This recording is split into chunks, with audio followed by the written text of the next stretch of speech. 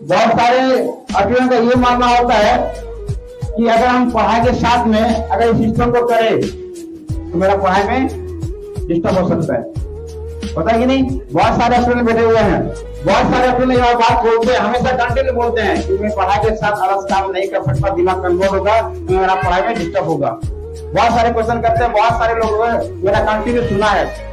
शायद यहाँ पे बहुत सारे स्टूडेंट बैठे होंगे, उनका भी दिमाग में चल रहा है कि मैं पढ़ाई के साथ साथ में इनको नहीं कर सकता। दिमाग डेवलप समझ गए?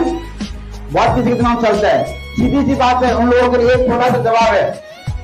सिंपल समझना है, ये पढ़ाई के साथ में व्हाट्सएप चला सकते हैं। पढ़ाई के साथ में फेसबुक चला सकते हैं। पढ़ाई के साथ में रील्स वीडियो देख सकते हैं। सोशल मीडिया में टाइम दिए हुए रहते हैं।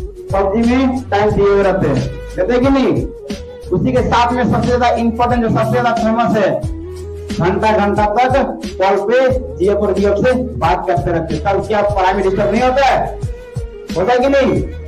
होता है ना? बस उसी को, उसी चीज़ को समझना है, हमारे फ्रेंड बस अपना उस पढ़ाई से मात्र एक से दो घंटा।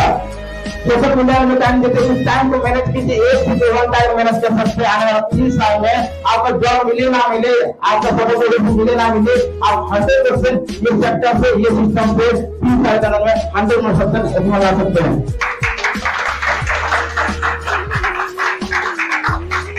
कोई वाला है। तो हम उसको भी सब नहीं होने वाला है। क्योंकि यहाँ पे आप एजुकेशन लेंगे कंटिन्यू आप सीखने वाले हैं। कभी भी कोई प्रॉब्लम नहीं होने वाला है। आपका ये पार्ट टाइम भी आप कर सकते हैं।